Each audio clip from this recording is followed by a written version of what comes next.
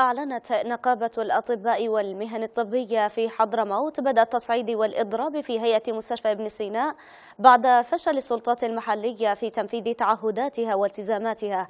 وأكدت النقابة إن الإضراب أو أن الإضراب الذي استثنيت منه وحدات إنقاذ الحياة وأقسام العناية المركزة ومركز عزل ومعالجة كورونا جاء كخطوة تصعيدية من الإضراب الجزئي للمطالبة بحقوق الأطباء واستحقاقاتهم. طبعا بدينا بالبرنامج التصعيدي من الأسبوع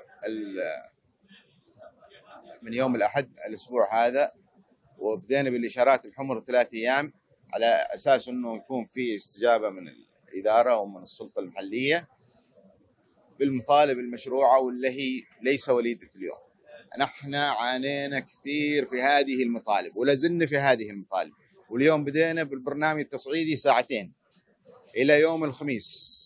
وإذا لم تكون هناك أي استجابة من السلطة ومن الجهات المختصة سوف يكون الأسبوع الجاي إضراب كامل. يعني هذه تقريبا ثالث إضراب ولازلنا في هذه نفسها المطالب. لن يتحقق منها أي شيء للأسف الشديد. معنا خانات متعتره قد صدرت لها قد صدرت لها خانات وظيفية إحلال صدرت لها فتاوي صدرت لها فتاوي من مكتب الخدمة بالمحافظة. وللأسف تم إلغاها من وزارة المالية في عدن. وهذا الموضوع أكثر من ثلاث سنوات.